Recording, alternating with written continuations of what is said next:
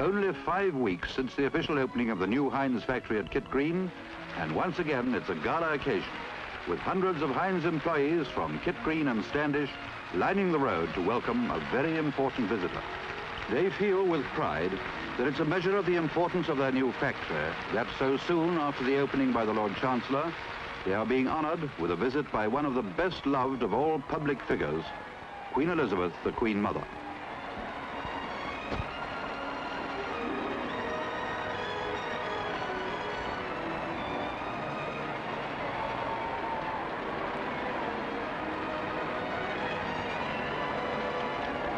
Lord Derby presents Mr. H.J. Heinz second, the chairman of the company, to Her Majesty. And he, in turn, presents Mrs. Heinz. The Queen Mother greets Lady Derby. Only an hour to see over the largest food processing plant in her daughter's Commonwealth. But the Queen Mother has a gift of crowding a tremendous amount into her official visits, and yet always being relaxed, informal, and above all, interested in people. One quality endears her to the women she meets in particular.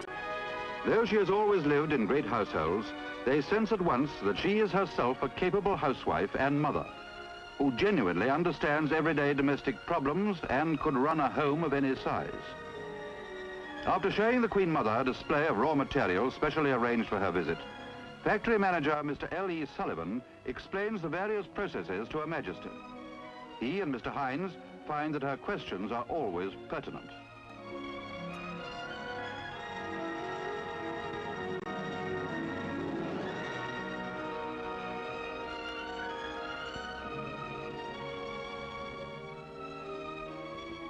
Passing the camera now, Mr. F.G. Crabb, Managing Director. The party moves on to inspect the soup production line.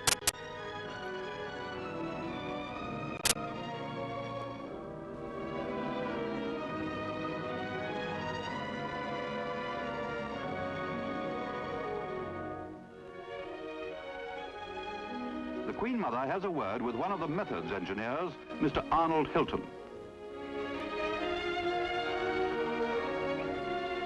The baby food filling machine, which, by the way, is one of the fastest filling lines in Britain. The 24 kinds of baby food collectively form number 57 of the famous 57 varieties. For though, in deference to a proud tradition, the magic number is always maintained, many of the 57 have long ago been subdivided, and there are actually more like 200 different Heinz products. Director of Manufacturing, Mr. Anthony Beresford, escorts Lady Derby and Mrs. Heinz. Next stopping place is the bean filling line. Heinz baked beans are very properly variety number one, for they are far and away the most popular. And the bean lines work on the same product all the year round, half a million cans a day. Here again, the Queen Mother pauses for a word with the operators. Everybody wants to see the royal visitor, and the tour is organized so that everyone gets a chance.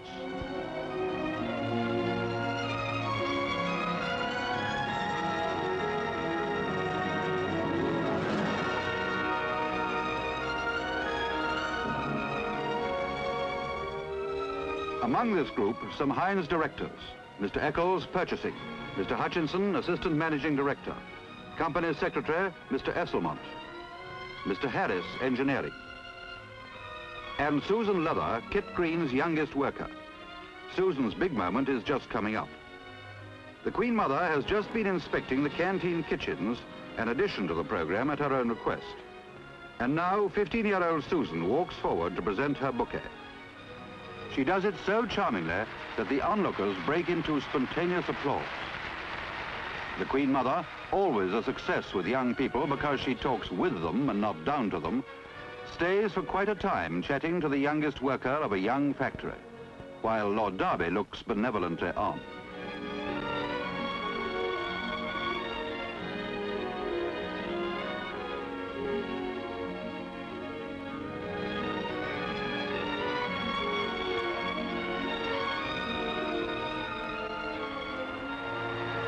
Mr. Heinz escorts the Queen Mother to her car to drive to the far side of the plant, where she is to visit the can-making factory.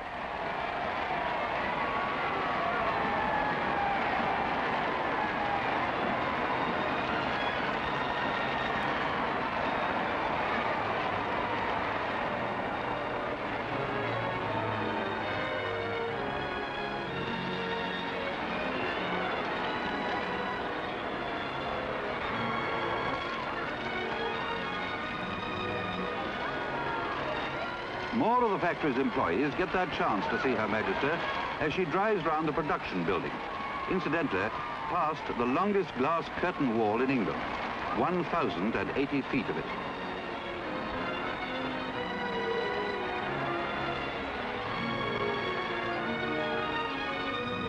On past the boiler plant, which keeps the whole of this vast factory supplied with steam.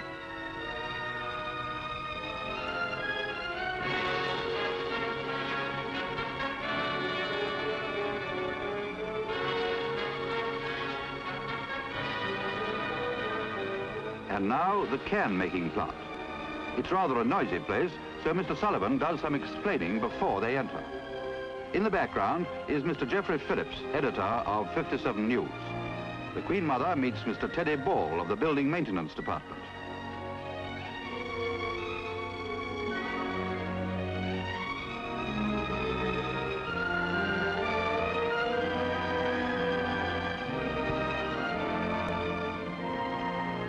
Can-making plant was the last item on the royal program.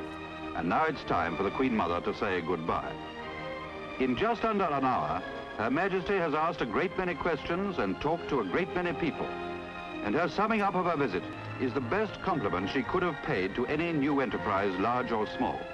For she tells Mr. Sullivan that what has impressed her most is that everyone looks so happy.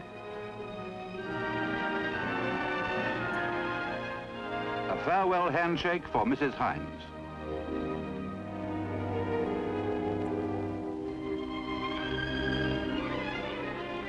This is not only a great day for Heinz employees, it's an occasion for Lancashire, because the new factory is already playing an important and growing part in the life of the County Palatine as a whole, and Wigan and the Ormskirk Plain in particular. The county is represented today by Sir Robert Adcock, Clerk of the County Council.